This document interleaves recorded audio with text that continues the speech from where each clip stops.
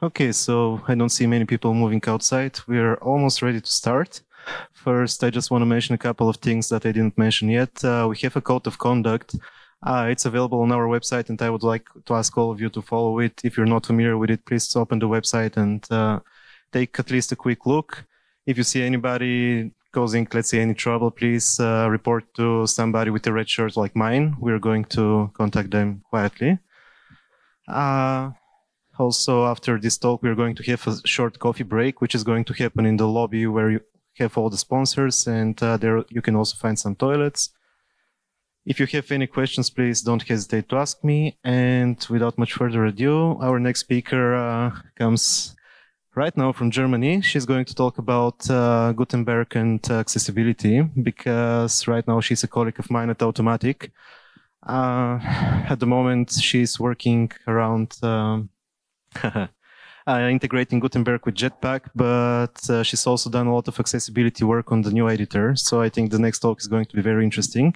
Please welcome Alda.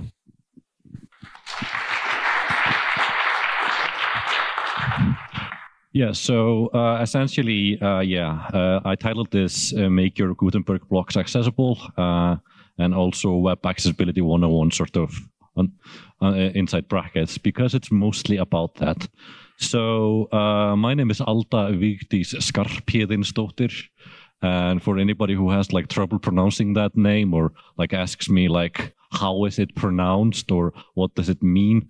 Like this is like the meaning of the name. Don't call me that, by the way. but you know this is usually enough for just that you know um, so pronouns see her uh, and i work uh, as a code wrangler at automattic uh, you can find me as alda vigdis on most social media so if you want to give me feedback after the talk then you know i'm on twitter and my blog is aldavigdis.wordpress.com. Um, yeah, so uh, my uh, first uh, programming language that I used for real, aside from like basic um, logo and stuff like that in school, was PHP. And I made a massive social, uh, well, a social network for my school with all the uh, security faults and, and terrible injections that you can find back in 2002. And uh, my first WordPress WordPress projects were like way way back, like 2005 2004. I made a website for a music festival, and and it, as it became more useful, I have had started switching from Drupal and other CMSs into WordPress, especially as uh, custom post types came to be, and. Uh, like you know way back you know we had to hack the core to get things working there were no plugins and and all sorts of fun things and uh, yeah sort of uh, six or seven years ago i switched over to ruby on rails for the most part uh, mainly because not that i didn't like wordpress anymore but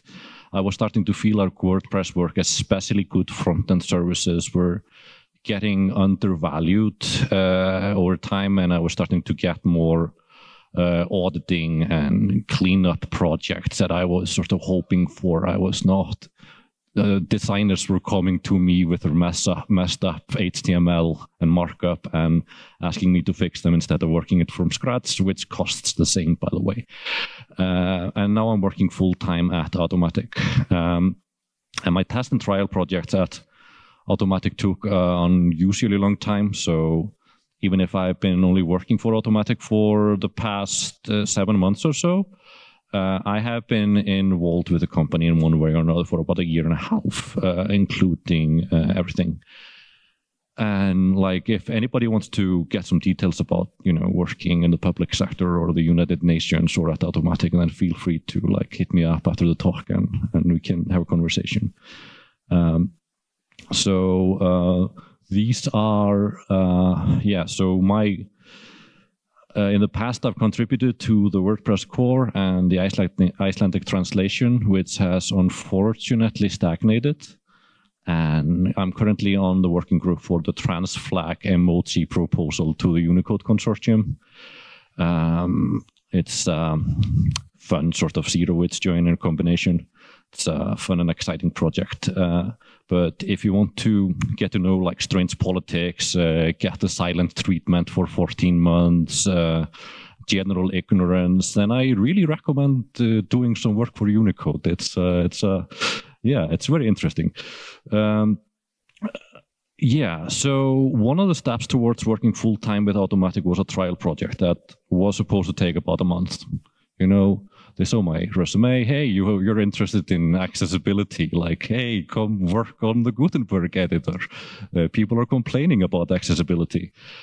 And yeah, there was a lot of controversy regarding accessibility in the new Gutenberg editor. And yeah, uh, and I ended up working on a tiny thing there for three months.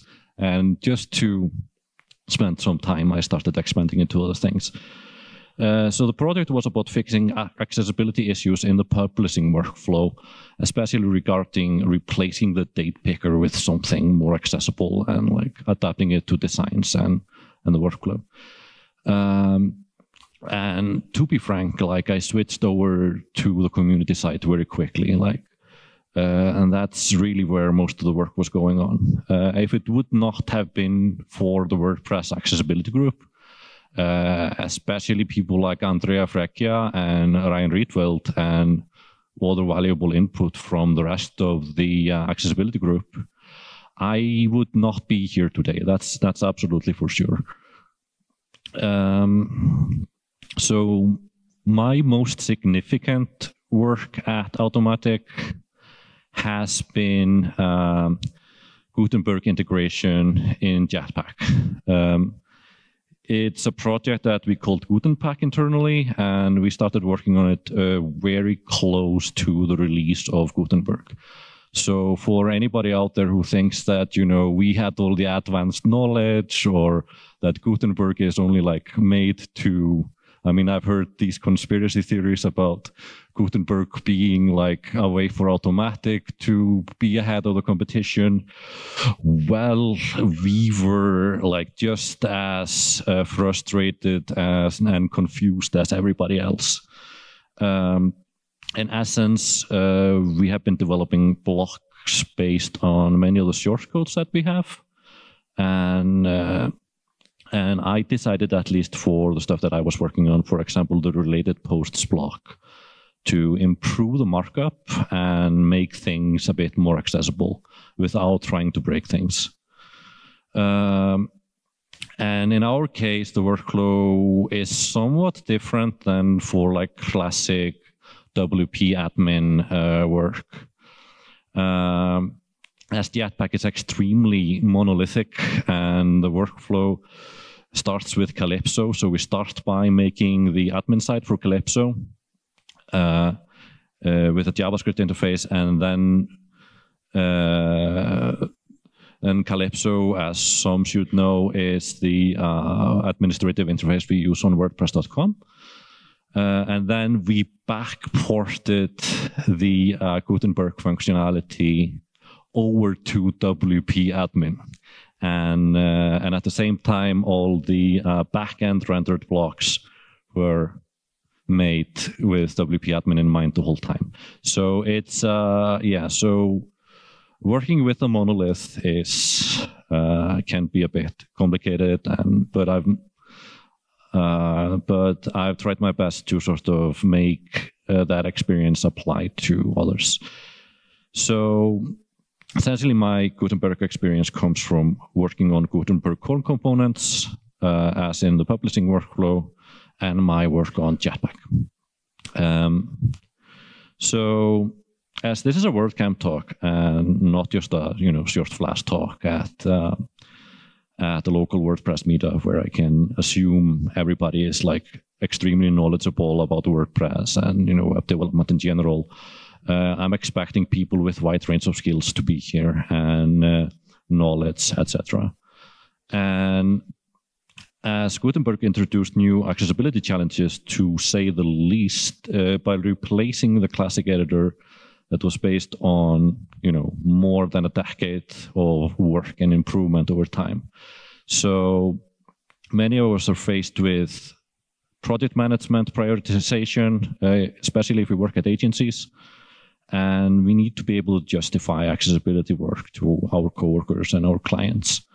So this is not only going to be a technical talk about how to make your blocks accessible, and I will uh, concentrate largely on the whys, and then I would go into the hows.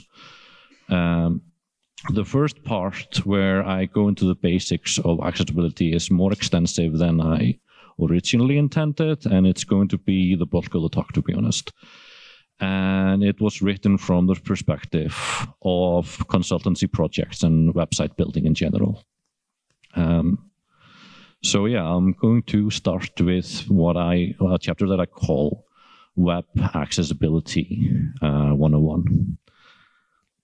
So um, web working on accessibility work is the practice of making websites work for people who have a disability.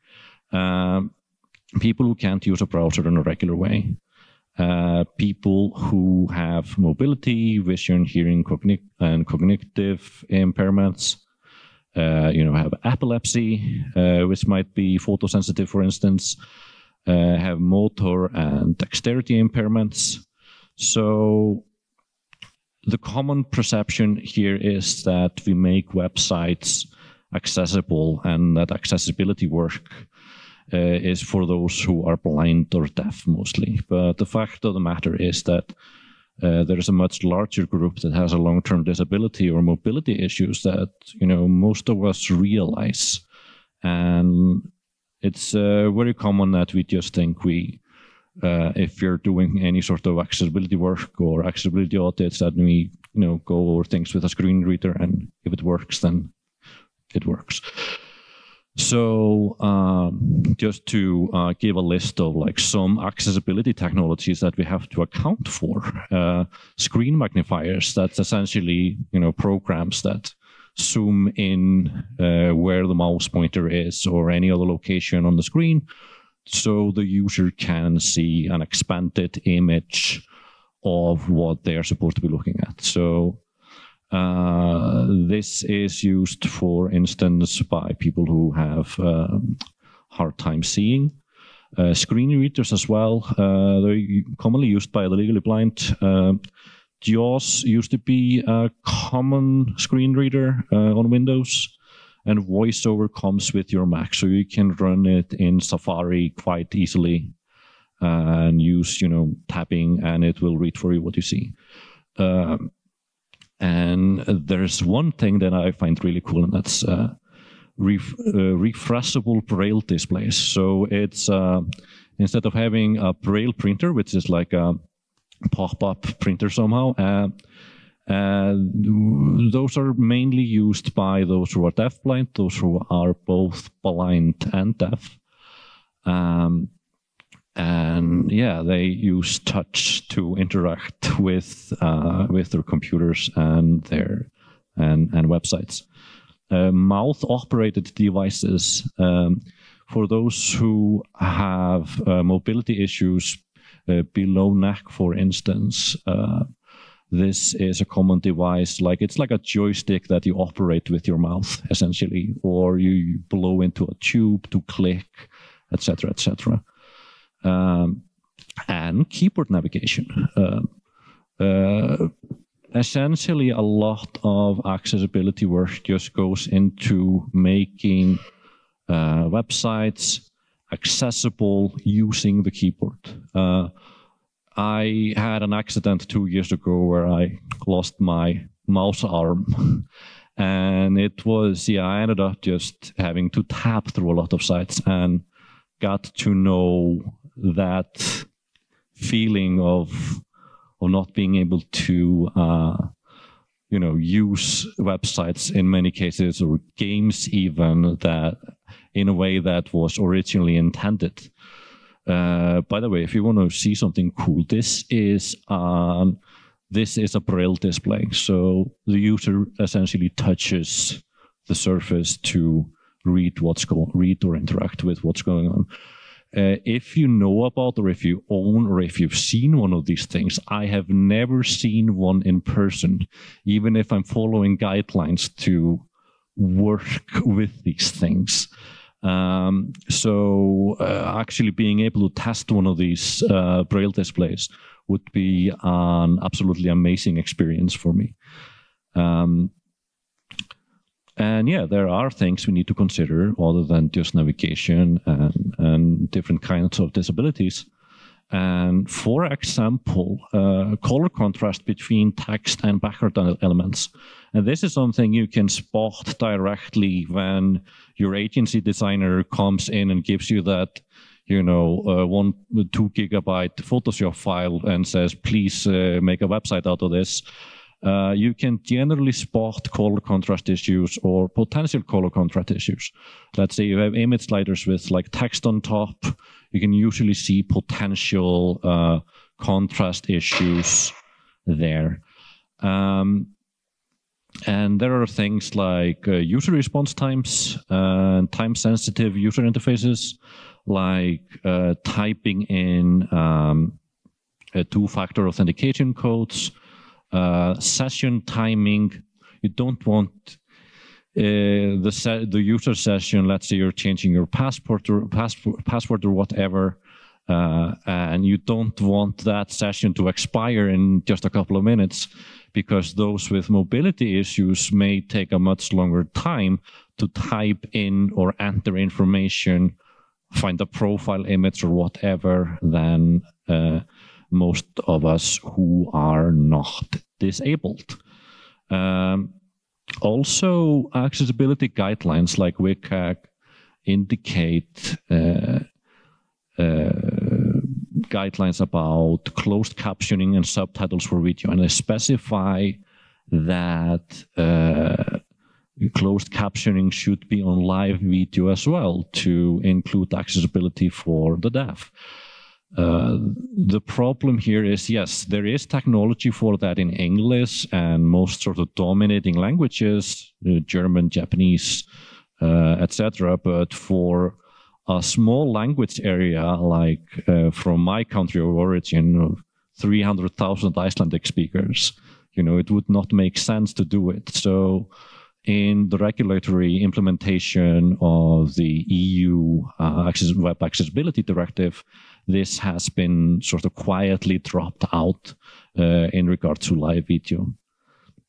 And just to give you some numbers, I looked this up last night and and you know I'm not giving any sources, but it's mainly like government websites uh, that indicate these things. So uh, WHO says that there are 1.3 billion people uh, with a disability worldwide or serve disabilities. Um, this could be mental disorders. This could be uh, which, yeah, do you need to account for in web accessibility as well, ADHD, for instance, uh, and uh, mobility issues, etc., etc. Uh, the German numbers indicate 10.3 million with, uh, if you include both temporary and permanent disability, uh, 7.5 million who are deemed seriously disabled uh, according to the German government. Here in Austria, there was um, poll made, and instead of using uh, official government numbers, uh, people were simply asked, a group of people were simply asked, um, do you have an, a physical impairment or a disability, something like that? and that was 1.7. Uh, you could basically calculate that over to 1.7 million Austrians, just about, you know, 20%. Um, but there are only, but at the same time, there are only like, given those numbers, there are 362,308 registered disabled in 2013, or circa just about 4% of the population. Um, other and in my country of origin, Iceland, uh, one uh, the general rule has been like yeah, one of every five has a physical impairment uh, in any way. So essentially, if you don't consider accessibility uh, in your work, uh, then these are the numbers of lost customers. These are the numbers of the people you were pushing out that you have to consider. And it's not like these people can do much about their disability. Uh, it's not like those people who are still stuck with an old version of Internet Explorer and you know could simply update their computer or update their browser. Uh, you know, you don't just upgrade your disability. Um, and those with disabilities, especially mobility issues, are likely to do more likely to do their business online or do or use e-commerce sites, uh, especially if they can do it easily without much input, uh, which is not always the case. Um, so the proportion of the population that is disabled may, of course, be different from the number of customers who are on your, let's say, on your online store than who are actually disabled in the society. Um, so you may have more or less depending on how you uh, accommodate to them. So essentially not supporting users with permanent or temporary disability issues um, is in fact a, a, moral decision just as much as it is a business decision. Yeah, you lose these customers, you could possibly write off, you know, five to ten percent of your potential potential customers by not making your site accessible. But uh, this is also exclusion. Uh, and there's also a key element. Uh, I mean, this is common in, in UI testing, you know. Uh, sure, if you do actual UI testing with people, then they will give you feedback. Publish your website, ask people to come by or advertise it, you will not necessarily get the same feedback. People will just leave, uh, go visit a competitor, uh, and they will not, you know, waste their, you know, days writing emails about uh, how inaccessible your website is. It's a waste of time because you can always go somewhere else. Um, now for a very boring part, we're going to standards and legality and regulations on web accessibility. Um, so, uh, especially in Europe, uh, any organization on the national level, yeah, in Europe, web accessibility regulations are generally based on the web accessibility guidelines from the World Wide Web Consortium called WCAG. Uh, they have mostly remained unchanged since 2008, but did receive a bit of an update uh, last year. So I recommend checking out WCAG 2.1 if you're already familiar with uh, 2.0. Um, so the guidelines are essentially a list of minimal fulfillment criteria that is needed to receive a, ra- uh, a rating ranging from, well, no rating, and then you have single A, double A, or triple A, and you need to fulfill certain criteria to get that. For example, you know, having uh, good enough keyboard navigation, having alternative content to something that is inaccessible, for example, a good uh, image alt text. Um, and when, and like I said before, when regulated on a national level, uh, the regulations may skip things from the original guidelines. Uh, as an example, uh, the original has a hard requirement for closed captioning, uh, which may be possible in English or if you're a large broadcast organization, uh, but it really doesn't work in all languages or all regions or all countries. And, uh, and like Icelandic or Faroese or Greenlandic, it would just never work out. Um, and while WCAG is not a new thing, um, recent developments, especially with JavaScript frameworks, uh, being under rapid development in the past years. Uh, like, uh, I guess everybody here who has been working with JavaScript for the past, say, nine years, uh, I mean, it's really hard to keep up with the development just there. Uh, so this has led to the attention switching really over to these new frameworks and those new work methods from the attention that accessibility was getting in the mid 2000s. Um, so but at the same time, there are other things like WAI-ARIA that step in uh, when it comes to what we call rich internet applications. Um, and uh, this means we have both new technologies to deal with, uh, with more interactivity, as and we also have those regulatory increased regulatory remarks from the EU, for instance, to deal with at the same time. So, if the organization or if your client works for the government in any context, it could be the municipality, it could be a non-government organization, then your website needs to have minimal accessibility. Um, and the legal liability in question is not only moral, but it can also have financial consequences. Uh, national authorities may issue fines, uh, and even if it is not the case, it can also be dangerous waters to tread for agencies and consultants that work for public sector organizations. Uh, if you run an agency and end user and, and an end user files uh, uh, legal action against your client, it may have a cascading effect on you. So you may become liable towards your client if you did not fulfill or advice on the legal requirements yourself. It's uh, not necessarily common that, I mean, I worked in the public sector and, you know, uh, public officials don't necessarily know about all the rules they're supposed to follow. This is why you're hired as a consultant. Um, and you may have clients that say, you know, I just want a website, uh, but I hope you're better than that.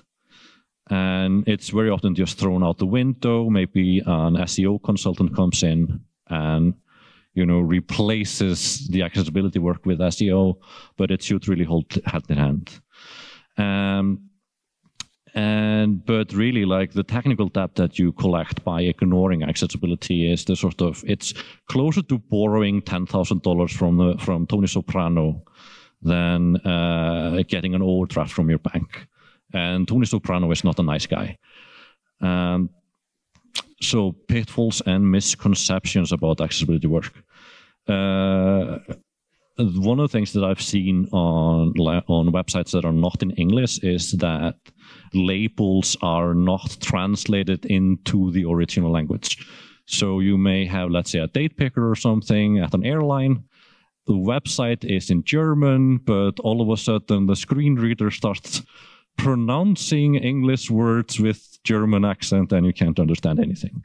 Um, and um, and one of the things is that if you use one technology like a screen reader to check a website, it doesn't guarantee uh, its accessibility in any different context. Let's say contrast or closed captioning, for instance. I mean, there are other demands that you have to follow. Uh, and using uh, a Lighthouse, which is now included in Google Chrome, uh, and it's a really good accessibility auditing test. It's an indicator. It's not an approval. There are some things you may need to uh, review uh, manually.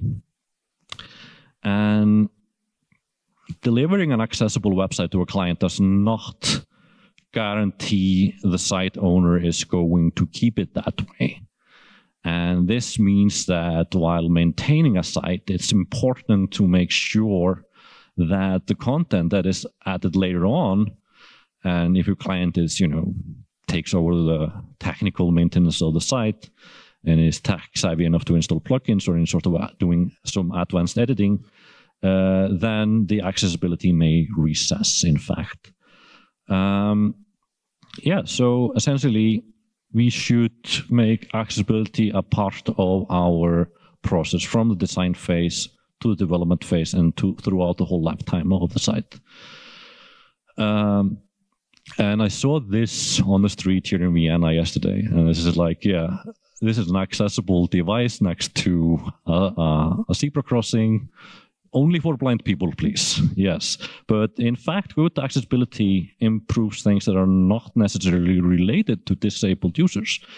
Uh, search engines and web spiders may improve its crawling and prioritize your website. Uh, so you may get better rankings by having a very accessible site. Um, And accessibility work may not be the same as SEO, but SEO and accessibility hold hand in hand. Um, if you already have a code review process, then do include accessibility as a vital part of it and make sure uh, not to dismiss uh, or you know make it consider, considered a nuisance at all stages. Uh, as an example, in the Gutenberg project itself, uh, there was like a, a, confirmation checkbox when you made a pull request uh, about having taken accessibility into account in your pull request. Uh, but it was usually just you know brushed off as a formality, uh, especially as things were getting rushed and everybody was like rushing towards a release. Um, and as a general rule, the sooner you discover issues with accessibility in any project, the easier it is, it is to fix them. Seeing and fixing them right at the design phase is far less expensive and problematic than uh, than later in the development stage even if the designer you work with, you know, can be annoyed, uh, or the project manager may get, you know, sweaty palms when you talk about any delay in work. And listen to feedback from users. Like, uh, uh, sometimes accessibility degrades over time, and I've seen you know important submit buttons just disappearing from screen readers because somebody wanted to remove it from the tabbing. So in essence, you are trusted by your peers and coworkers and your clients. Uh, you are hired because you're a specialist in your field and your input matters. It doesn't matter how much you know how much you know now. If you're interested in maintaining accessible accessible sites, then it does matter. So just give you a, a list of useful tools and information. Uh, Lighthouse is now built into Google Chrome. I'm a I'm a Firefox person myself, but if I do accessibility auditing, then I switched over over to Chrome.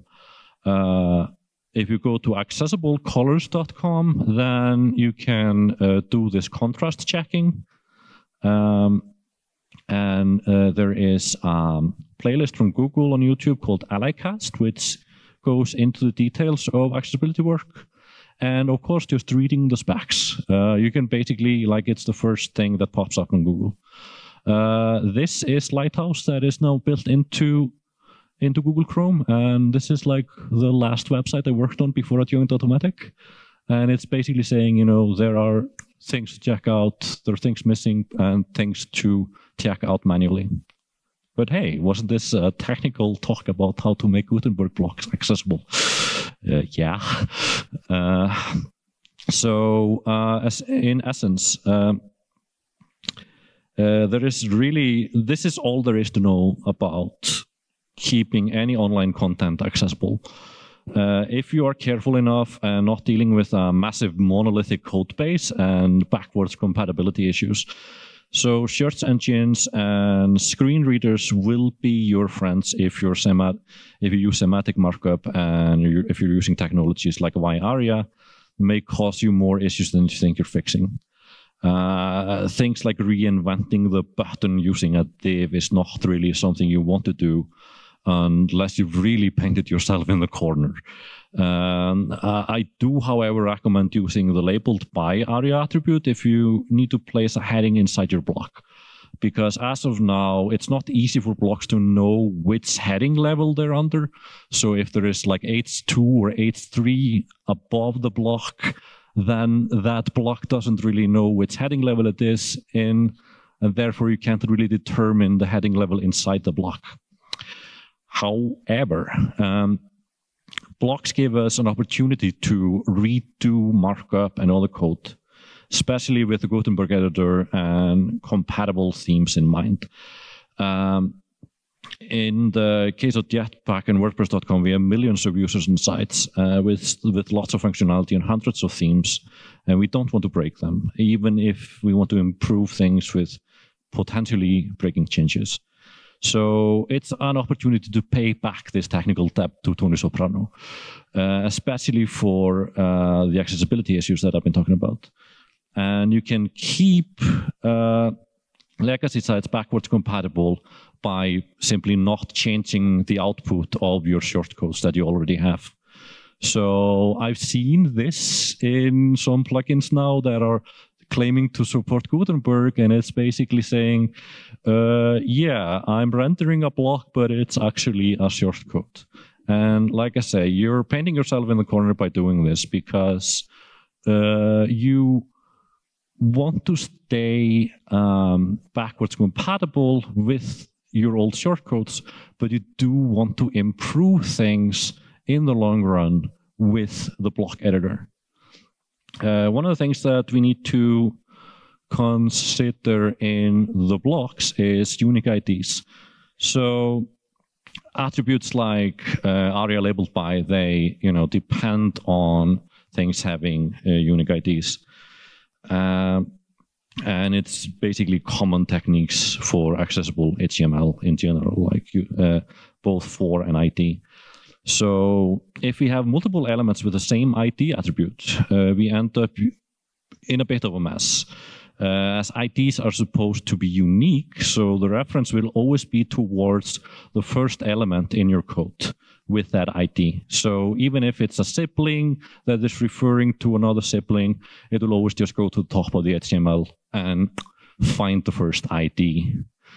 Um, for instance, like this is, you know, just a, an example of a diff that I made last night, um, where um, where the div itself is referring to the name uh, as the title for the div. So this is what you can use in your blocks, for instance, instead of specifying uh, or inserting a semantically correct heading, you can specify a span or a paragraph as a heading using uh, aria labels.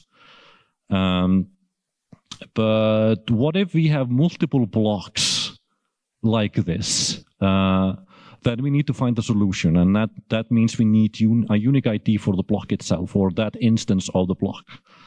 Um, in PHP, we use unique ID, uh, and it outputs a random string based on the current microsecond timestamp. So it's not cryptographically secure. Uh, it happens during runtime, uh, but it seems to be good enough for, you know, what I've used it for until now.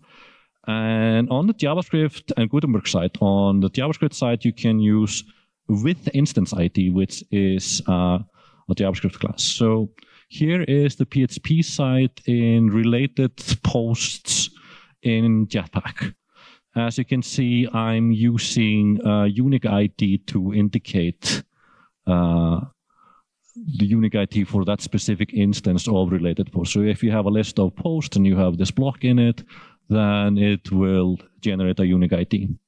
Uh, on the JavaScript side, uh, it's a bit more complicated, but you essentially, um, well, there is an error. This is essentially a screenshot from the documentation in the Gutenberg codebase, but you're supposed to import compose as well.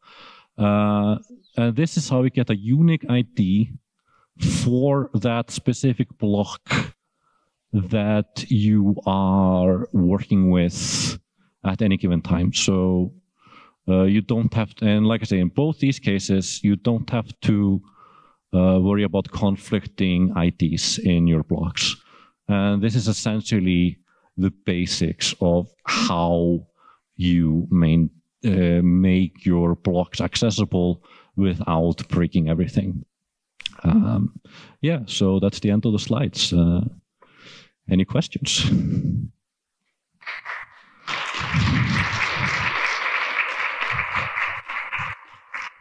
So I see that you have a lot of links in the slides. Where can people find them after the talk? Uh, you can go to aldavigdis.wordpress.com. Um, I will um, scroll up here. So yeah, great. Um, so after the talk, I'll, I'll upload the slides over, slides over to here, and you should be able to find them on my WordPress.com blog. Okay. So does anybody have any questions for Alda? Right? You, please. Ha yeah, hello. Uh, I would like to know if the WordPress dashboard is also accessible or is going to be accessible. The dashboard, the back office of the WordPress. Yeah, exactly. I mean, that's just as important as having uh, the website itself or the front end itself to keep it accessible. And uh, the WordPress WP admin CMS that uh, we're all using has, you know, 15 years of history of accessibility work to it. And this is really what created this massive debate last year around the release of Gutenberg was that uh, we were losing a lot of this work in the new editor. So there are accessibility improvements going on in the new editor. Uh, in the classic WP admin, you will have uh, 15 year backlog of really good community accessibility work. So, any other questions? Okay, come on, we have time. Ask something. Right.